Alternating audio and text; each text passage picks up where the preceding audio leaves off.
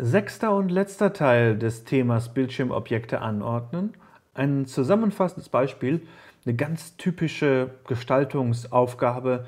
Wir sollen eine Maske gestalten, eine Eingabemaske gestalten. Und zwar handelt es sich um eine Eingabemaske zur Bearbeitung von Einträgen einer Kontaktdatenbank.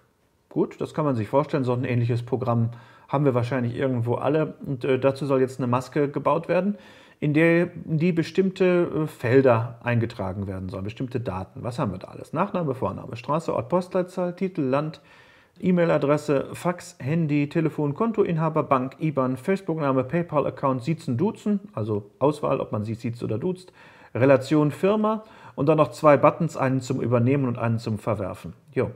Gut, jetzt äh, lassen wir mal es dahingestellt, äh, warum man jetzt Kontodaten in so einer Datenbank unterbringen muss. Wir nehmen das mal einfach so hin und äh, bauen eine entsprechende Software in genau, also eine entsprechende Maske, Eingabemaske, mit der man genau diese Daten eingeben kann. Was müssen wir machen? Der erste Schritt ist Datenklassen bilden. Wir müssen also uns mal überlegen, was eigentlich zusammengehört. Und was gehört denn zusammen? Ja, also hier Nachname, Vorname, Straße, Ort, Postleitzahl, Titel, Land und Firma. Ja, das ist doch das, was man so üblicherweise als Adresse bezeichnet, wo was man auch auf so einen Adressumschlag draufdrücken würde. Draufdrucken würde natürlich. Ja, was haben wir noch? Äh, Siezen, Duzen und Relation. Das ist so, wie verhalte ich mich eigentlich dazu? Bei Relation ist jetzt gemeint, ist das mein Bruder, ist das mein Schwager oder sowas. Das ist ein Freund von mir. Solche Sachen äh, hatte ich mir jetzt darunter vorgestellt. Dann haben wir hier Handy und Telefon um die Leute ähm, anzurufen. Dann bleibt noch weitere elektronische Kontaktmöglichkeit, Fax, E-Mail-Adresse, Facebook-Name nehmen wir mal zusammen als eine äh, Klasse. Ja, und dann haben wir noch äh, hier die, die Kontodaten. Da haben wir äh, Konto, Bank, IBAN und PayPal-Account. Das sind die Kontodaten. Und unten bleiben die beiden Buttons ähm, übrig. Die brauchen wir wohl auch noch. Jetzt können wir uns mal überlegen, äh, ob die Reihenfolgen richtig sind. Und das kann ähm, eine Arbeitsreihenfolge sein, dass man das eine üblicherweise vor dem ersten machen muss. Und häufig hat es aber mit Konventionen zu tun. Also Nachname, Vorname, Straße, Ort, Postleitzahl, das ist schon mal komisch. Ähm, man würde ähm, das nicht in dieser Reihenfolge üblicherweise machen. Man würde sagen, naja, der Ort gehört doch vor die Postleitzahl und ähm, nein, die Postleitzahl gehört vor den Ort und äh, das Land im Zweifelsfalle dahinter. Und äh, Titel gehört vor Vorname und Nachname. Das ist die übliche Konvention. Zumindest nehmen wir mal diese jetzt an und bauen das entsprechend um. Das sieht dann so aus und ihr seht, unten hat sich auch noch getauscht, die erst die Telefonnummer, dann die Handynummer, oh, gut, aber es ist schon üblich, dass man erst die IBAN angibt und dann die Bank und nicht umgekehrt. Jetzt haben wir also Reihenfolgen angepasst. Was können wir als nächstes machen? Wir können Datenfelder anlegen und beim Datenfelder anlegen müssen wir natürlich äh, bedenken, äh, welche ähm, Datentypen es hier eigentlich gibt. Ja, dafür müssen wir das erstmal ein bisschen umsortieren und als nächstes legen wir jetzt die Datenfelder hier an. So, was haben wir jetzt da? Wir sehen mal hier oben, Titel ist ein Auswahlfeld. Das habe ich jetzt ein bisschen sehr einfach dargestellt. Das soll das darstellen, das ist ein Auswahlfeld. Genauso wie Relation. Siezen, Duzen habe ich zu Siezen gemacht und ein Auswahlfeld rausgemacht. Ja, und das waren im Prinzip die äh, Datentypen, die wir an dieser Stelle hier haben. Was machen wir als nächstes? Wir sehen, die, ähm, dadurch, dass jetzt äh, wir immer diese Beschriftungen unterschiedlich lang haben, tanzt das ganz extrem durcheinander. Und wir wollen natürlich gleich irgendwann mal alignieren. Aber wir werden damit Probleme kriegen, äh, denn dann entstehen große Lücken. Damit wir das vermeiden, kürzen wir jetzt ab. Und was haben wir hier? Was können wir abkürzen? Na, Postleitzahl ist zum Beispiel sehr lang. Da können wir zum Beispiel einfach Pilz rausmachen. Und äh, auch die Beschriftung für den Ort, die kann ich dann dafür mit nach vorne ziehen, weil dann habe ich ein bisschen Platz gewonnen. E-Mail-Adresse ist geschwätzig, Facebook-Name ist geschwätzig, PayPal-Account ist geschwätzig, Kontoinhaber ist geschwätzig. Da können wir entsprechend Abkürzungen wählen und das sieht dann zum Beispiel so aus und jetzt sehen wir schon, ah, jetzt rutscht das dann alles viel stärker aneinander. Als nächstes können wir ausrichten oder auch alignieren, je nachdem, wie wir es nennen wollen. Und dann gucken wir mal, woran richten wir denn aus? Erstmal richten wir hier vorne aus und sehen, naja, so ganz perfekt ist das nicht. So ist es schon besser ausgerichtet.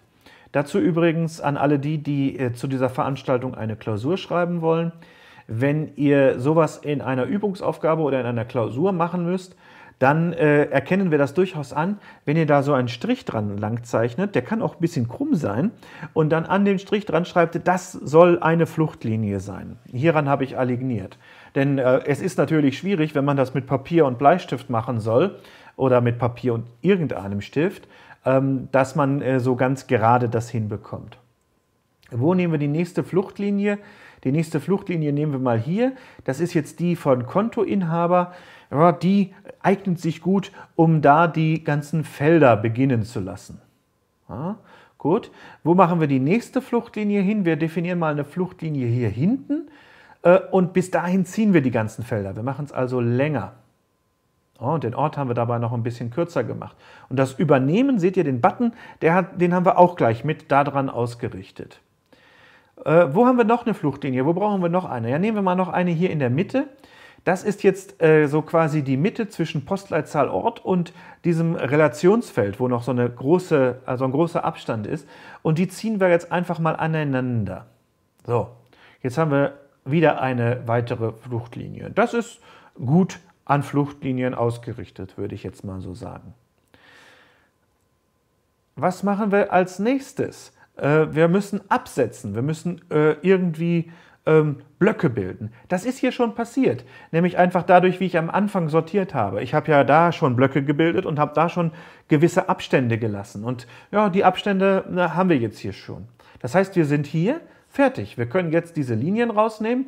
Ja, und wir sehen jetzt, so ganz perfekt ist es nicht gelungen. Äh, nicht alle Felder sind ganz genau gleich breit. Also wer ganz pingelig ist, der bemerkt vielleicht, dass das Feld bei Ort ein Stückchen zu kurz ist. Gut. Wenn wir es jetzt wirklich in einem Interface-Bilder machen würden, würde uns das sicherlich nicht passieren und wir würden das so äh, hinnehmen. Das wäre also genug. Okay, so könnte es fertig sein. Wir können aber noch ein paar weitere Schritte machen. Wir sollten, aber da sprechen wir erst in einer der nächsten äh, Vorlesungen drüber, uns an die Eingabeminimalität halten. Äh, das äh, kommt beim nächsten Mal. Eingabeminimalität bedeutet, wir wollen möglichst wenig Eingabeschritte haben. Das heißt, wir könnten hier dafür sorgen, dass wir zum Beispiel, wenn wir die Postleitzahl eingeben, der Ort automatisch erscheint oder wenn wir die IBAN eingeben, die Bank automatisch erscheint. Das ist etwas, das können wir zusätzlich noch angeben. Wir könnten es auch räumlich darstellen, zum Beispiel, dass wir das Bankfeld so machen, dass man sieht, dass man da gar nichts eingeben kann. Wir könnten stapeln, wir könnten eine Stapelungstechnik einsetzen. Wie sehe das denn aus mit einer Stapelung? Zum Beispiel so. Das wäre eine Möglichkeit des Stapelns an dieser Stelle die, ähm, ja, finde ich, äh, gut funktioniert. Jetzt sehen wir diese Blöcke nochmal erheblich plastischer. Was können wir als nächstes machen? Wir könnten nochmal stapeln, indem wir auch nochmal Unterbereiche bilden. Also hier habe ich jetzt mal Telefon und Handy von Fax, E-Mail, Facebook nochmal getrennt. Äh, weil ich gesagt habe, naja, hier haben wir ja zum einen mal die Telefonkommunikation und dann die übliche weitere elektronische Kommunikation. Wenn man das denn so möchte, ist nicht unbedingt notwendig. Was natürlich auch noch schön wäre, und jetzt haben wir gleich ein bisschen Probleme mit dem Platz, ist, Beschriftungen einzufügen. Ähm, also zu sagen, was ist das Ganze hier überhaupt? Wir haben so mal so einen Titel drum und wir könnten dann auch noch die einzelnen Blöcke beschriften. Da ich jetzt aber mit dem Platz ein bisschen Schwierigkeiten habe, mache ich das mal nur an dem obersten Block und für das Ganze. Ähm, und was sehen wir hier? Also das Ganze ist Kontaktdaten bearbeiten und jetzt habe ich den obersten Block mal beschriftet mit Adresse. Und was ihr seht ist, da könnt ihr nochmal äh, rückbeziehen euch drauf, was wir bei Textgestaltung gemacht haben. Ich habe nicht ein eine fette schwarze Schrift genommen, sondern eine etwas weniger deckende Schrift an dieser Stelle. Denn, naja klar, dieses Adresse, das ist die Beschriftung dieses Blocks, aber das ist nicht das Wichtigste in diesem Block. Und deswegen wollte ich nicht, dass das extrem ablenkend ist. Und deswegen habe ich da versucht, mich ein bisschen zurückzuhalten. Das ist eigentlich immer ein ganz guter Trick. Ja, und jetzt haben wir, das können wir natürlich bei allen anderen Blöcken auch machen, haben wir diese Bildschirmmaske eigentlich sehr schön nach unseren Kriterien der, äh, des äh, Strukturierens gestaltet und auch nicht nur des Strukturierens, sondern auch der Übersichtlichkeit, nämlich durch das Alignieren. Und so könnte man das gestalten, wenn man das in einem Interface Bilder oder durch eigene Programmierung auch entsprechend hinkriegt. Werfen wir abschließend nochmal einen Blick auf unsere Forderungen zur Reduzierung erzwungener Sequenzialität. Wir sind jetzt nämlich mit dem Bereich Präsentation fertig. Wir haben uns ein paar Wochen lang mit dem Aussehen beschäftigt und den da sehr zentralen Forderungen nach Erkennbarkeit, Einfachheit, Unterscheidbarkeit, Ablenkungsfreiheit und Wiedererkennbarkeit und haben uns jetzt in dieser Woche mit den Forderungen zur Anordnung beschäftigt. Und das ist die Übersichtlichkeit und die Strukturiertheit. Und diese beiden Forderungen sehen wir in diesem Bild kombiniert. Ne? Hier sehen wir sowohl Strukturiertheit als auch Übersichtlichkeit in Kombination. Und wir erhalten ein wohl strukturiertes und sehr übersichtliches Bildschirmbild. So viel soll es gewesen sein zu diesem Thema. Und in der nächsten Woche geht es dann weiter mit der Interaktion und da vor allen Dingen mit den Eingaben. Denn Interaktion kann man sich ja mal vorstellen, wir haben immer die Eingabe, dann haben wir eine Verarbeitung und dann haben wir eine Ausgabe. Und wir fangen mit der Eingabe an.